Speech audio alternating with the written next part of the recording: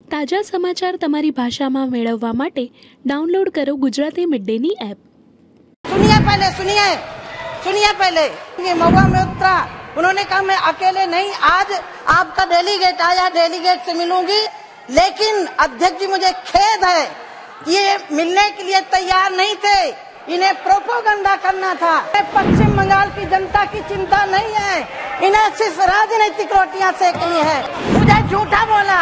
मुझे महुआ मित्रा ने कहा कि साथी निरंजन ज्योति जैसा पापी हो तो पाप की ज़रूरत नहीं है। मैं यद्यपि इस सदन का सवाल नहीं है, लेकिन जिस तरह से मेरे को झूठा आरोप लगाया गया, इन्होंने आधा घंटे का समय मांगा था पाँच लोगों का। मैंने कहा, पाँच लोग आ जाइए। पाँच लोग के बाद आधे दस मिनट के बाद कहते हम दस लोग आएँगे। हमने कहा, दस लोग आ जाइए फिर बोले, जनता से मिलिए। मैंने कहा, आपका जो प्रतिनिधि मंडल आया है जिस शिशु को लेकर के, उसके पहले टेबल में बात करिए। सुनिए पहले, सुनिए। सुनिए पहले। माननीय अध्यक्ष महोदय, ढाई घंटा में अपने ऑफ़िस में बैठी रही, जहाँ मुझे आधा घंटा बैठना था। फिर बोले, हम पूरे सांसद आएँगे। हमने कहा, पूरे सांसद आ जाइए। अकेले नहीं मिलूँगी, महुआ में उन्होंने कहा, मैं अकेले नहीं, आज आपका डेलीगेट आया डेलीगेट से मिलूँगी। जिस शिशु को लेकर के उस संबंध में बात करिए, लेकिन अध्यक्ष जी, मुझे खेद है ये मिलने के लिए तैयार नहीं थे। इन्हें प्रोपोगंडा करना था। मेरे ऑफ़िस धरना देना था।